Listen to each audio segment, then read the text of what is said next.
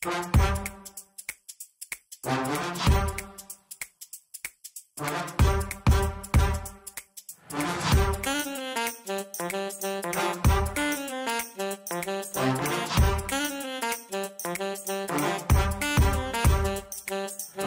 I'm Mike Maloney, and welcome to another CSRM podcast. Today's episode is hosted by Dr. Greg Linville. Welcome again to another CSRM podcast. And uh, when you're watching this, we're getting closer and closer to Christmas. So, Merry Christmas. And for all the sports ministers out there, maybe you're right in the middle of wrapping up a league or preparing for the new year, maybe a new fitness class taking full advantage of New Year's resolutions. Um, we, we're praying for you. We know that this is a busy time on top of family responsibility and uh, Christmas celebrations and things like that. So we're praying for you. And uh, we hope this podcast is a blessing as we continue to dive into the book, The Saving of Sports Ministry. I'm joined today with uh, Scott Stedman and Dr. Greg Linville. And we teased kind of the middle of chapter seven last time about this concept of the carnal Christian. And so, Dr. Greg, we're going to dive right in. What a great topic for us to spend some time on here, a very light topic. But uh, tell us what a carnal Christian is and, and why it's in chapter seven of this wonderful book. Well, carnal Christian, uh, if you think of uh, carne and you think of flesh, um, carnivorous, etc. And and so it's it's basically saying that a Christian lives in the flesh more than in the spirit, and they're they're not really following Jesus; they're following their flesh. So that's the overall concept of the carnal Christian. But I think there's two things that we need to kind of found this conversation on, and and the first one is that we take very seriously within CSRM our relationships.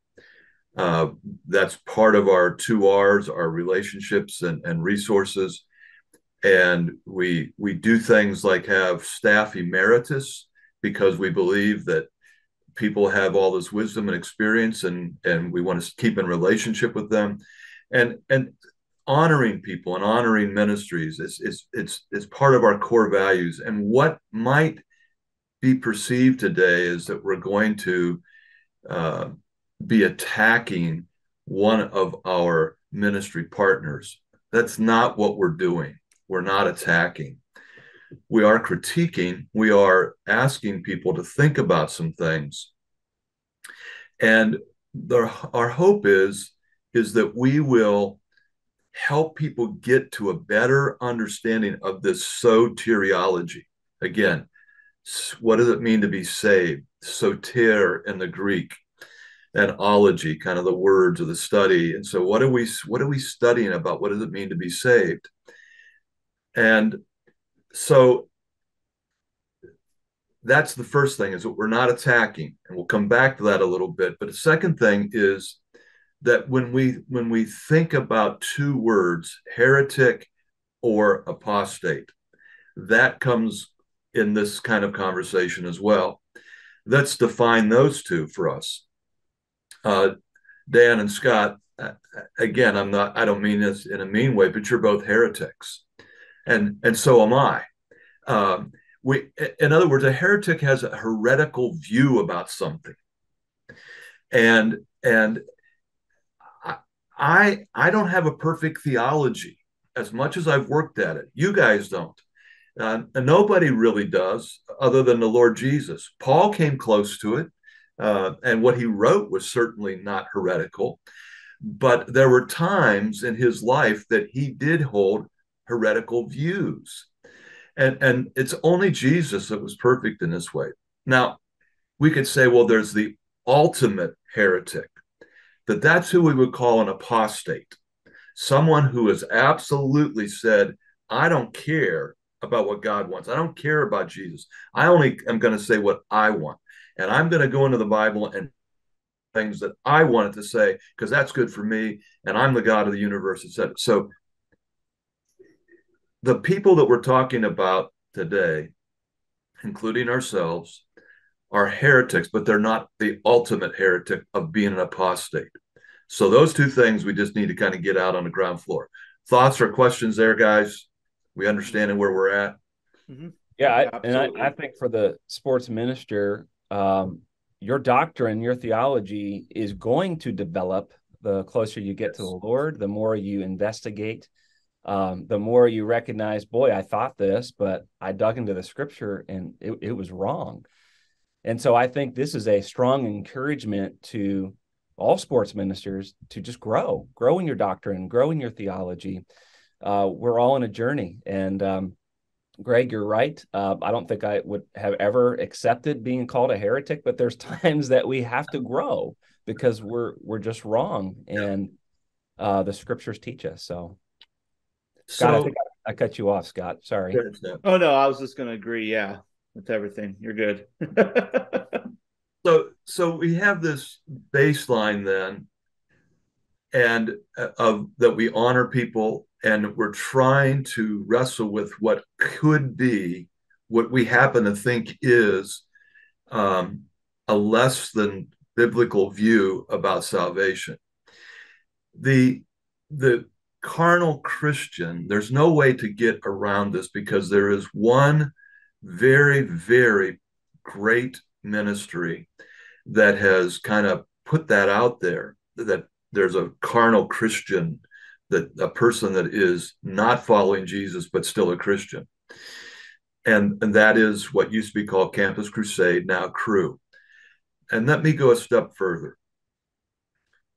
Cru was a group that really helped disciple me.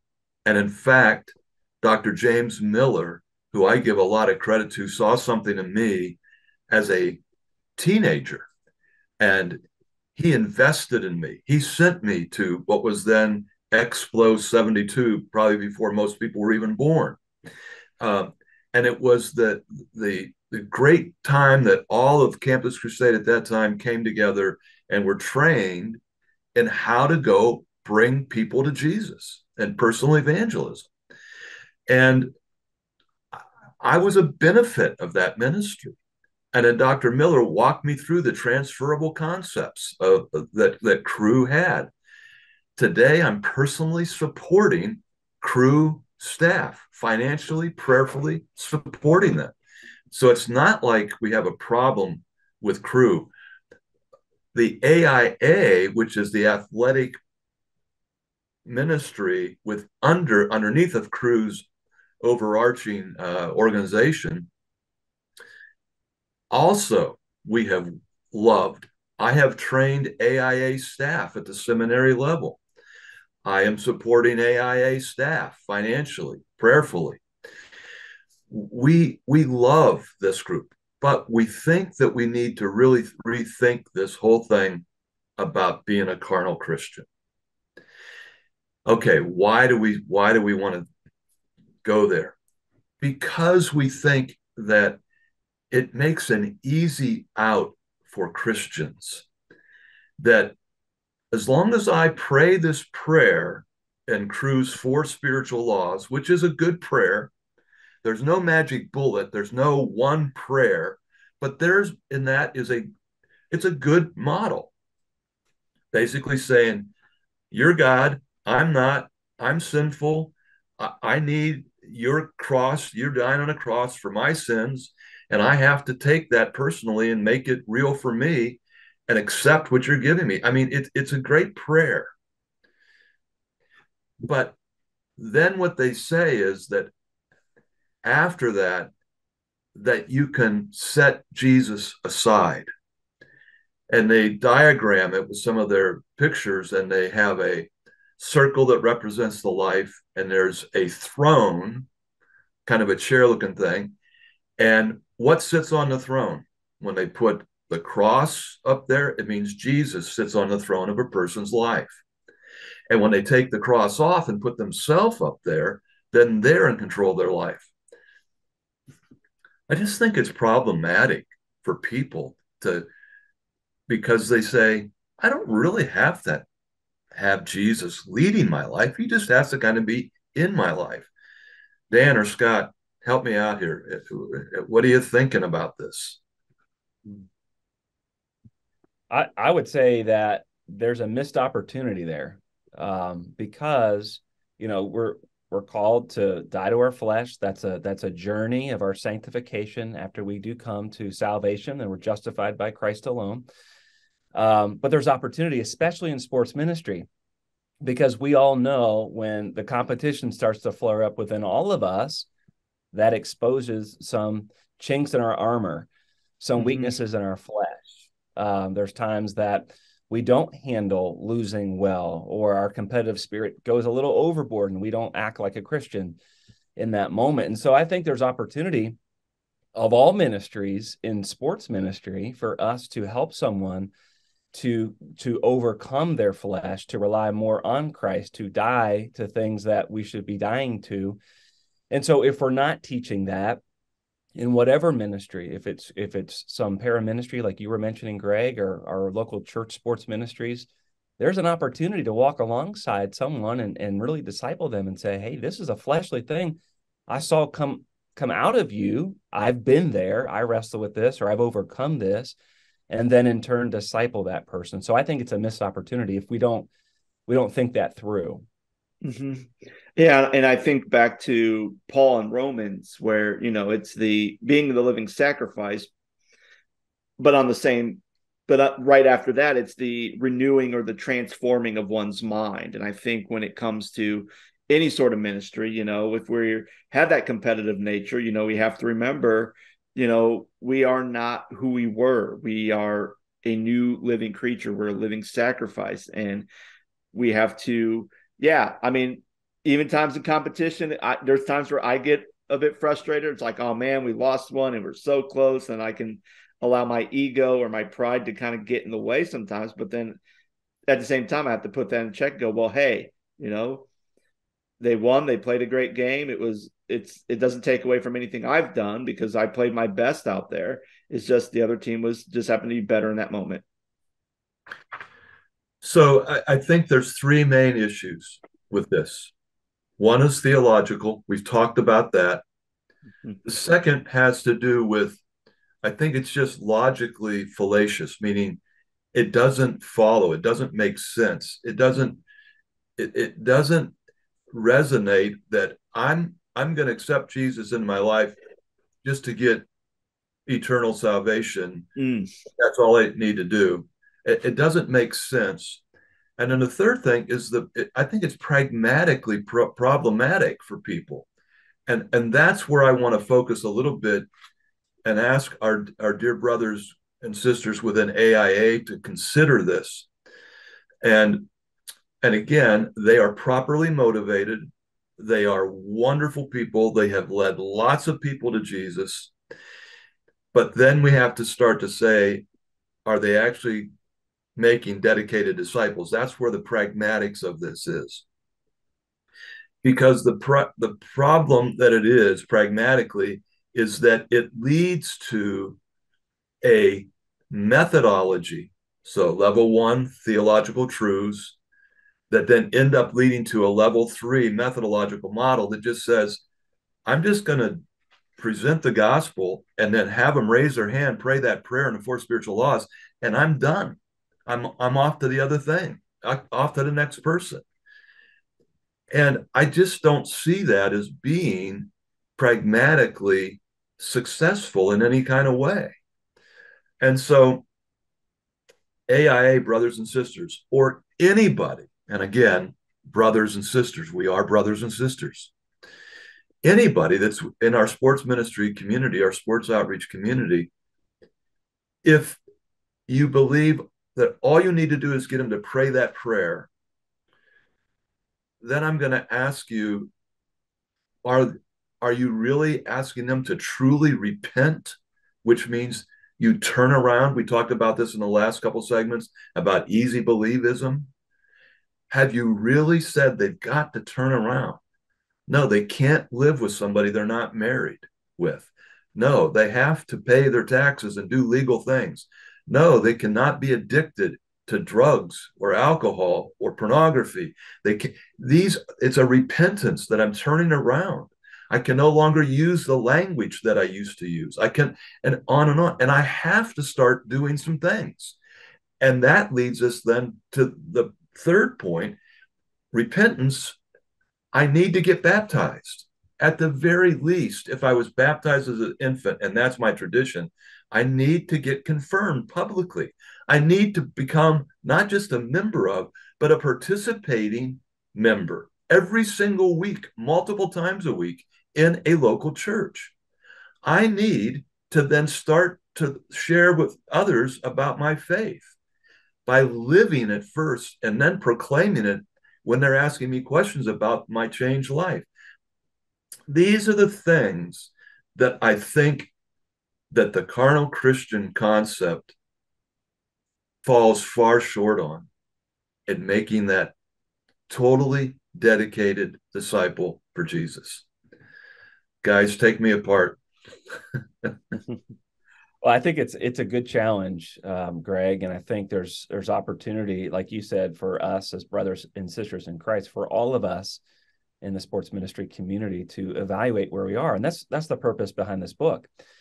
The saving of sports ministry isn't just about soteriology, although that's a big part of it. It's really helping to develop what it means to be a dedicated, saved disciple of Jesus, and then recognizing well that's that's just the starting point not the finish line. What does it look like to grow? Right. but also it's saving these different ministries. It's making them better. Yes. And we all need this. We all we need this in all of our churches on all levels of ministries and programs. We need this in para ministries and i think it's a healthy challenge. I i think for all of us as we follow christ we recognize um, there's opportunity for us to overcome. There's opportunity for us to change there are times we don't just repent once. That's a part of our salvation when we recognize that we're lost without Christ because of our sin, and He is our only hope, and we're only saved through Him because of our faith in Him.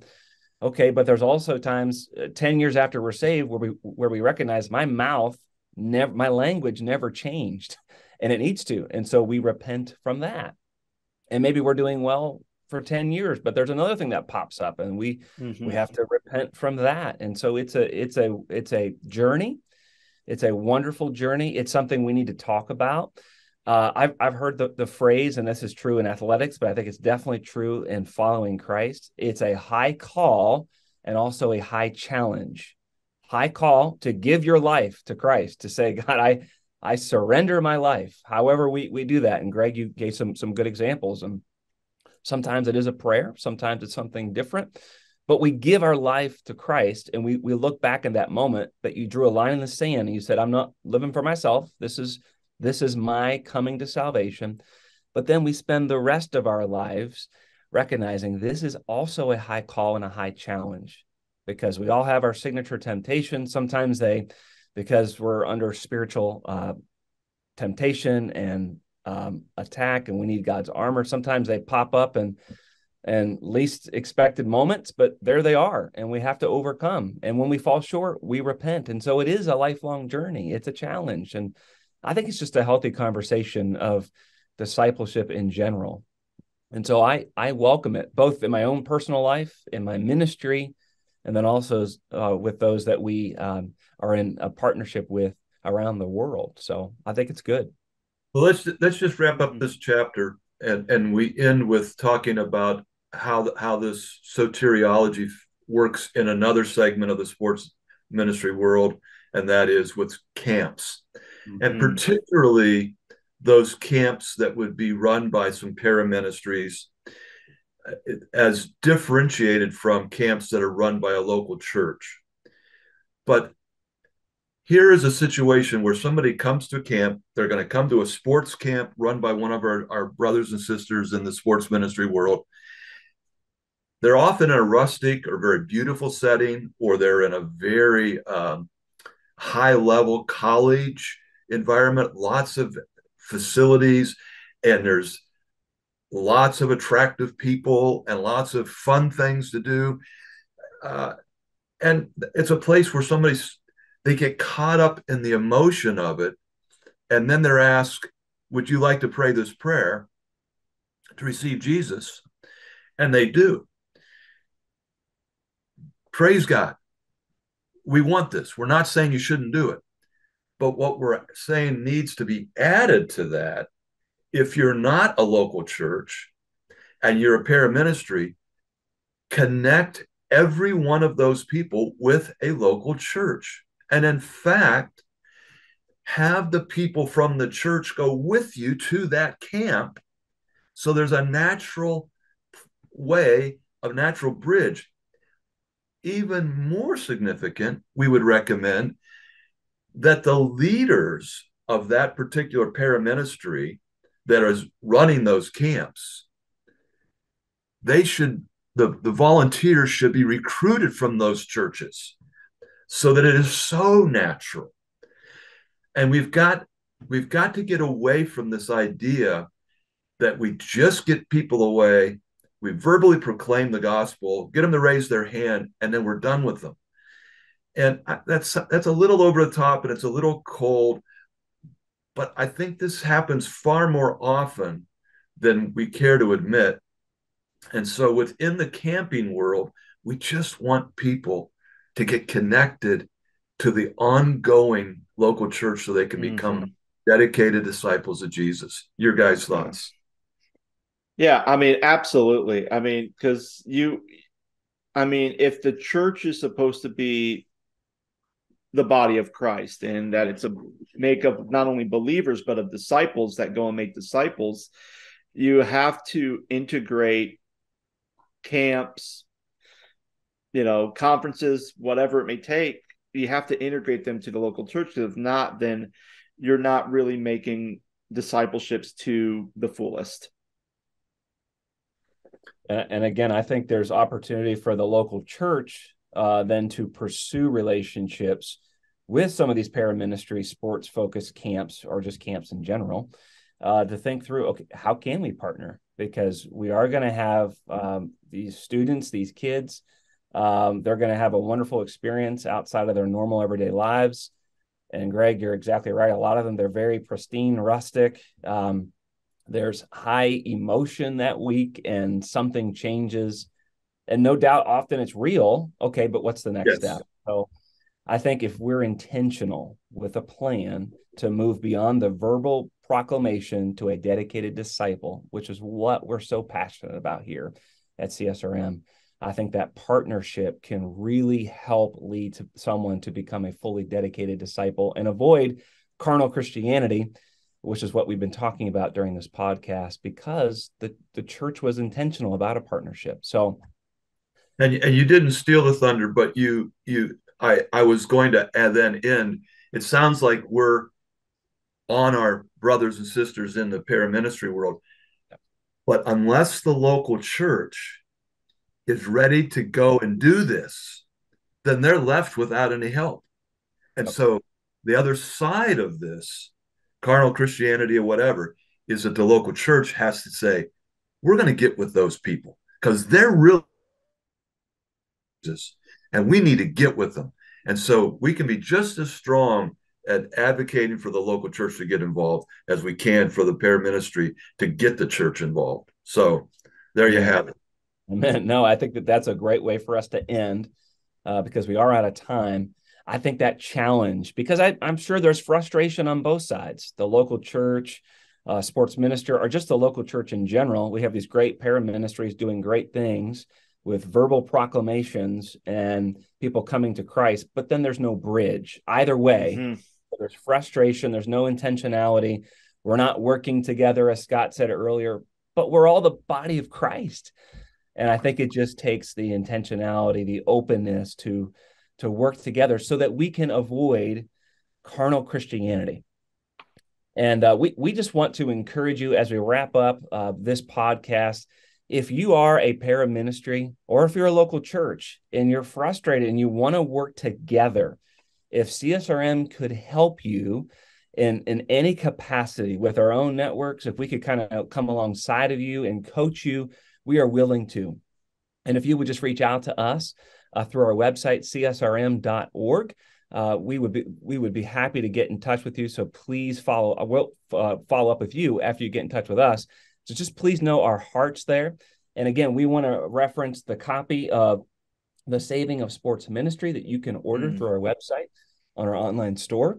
And we just wrapped up chapter seven. In our next podcast, we will go into chapter eight and continue the conversation about the saving of sports ministry. Thank you so much for joining us here today. We'll see you next time. Take care. The CSRM podcast is a production of CSRM and their production house, Overwhelming Victory. Dr. Rick Linville is the executive producer, and Scott Stedman is the associate producer and editor. To learn more about CSRM, visit csrm.org. For more information about Overwhelming Victory, visit overwhelmingvictory.org.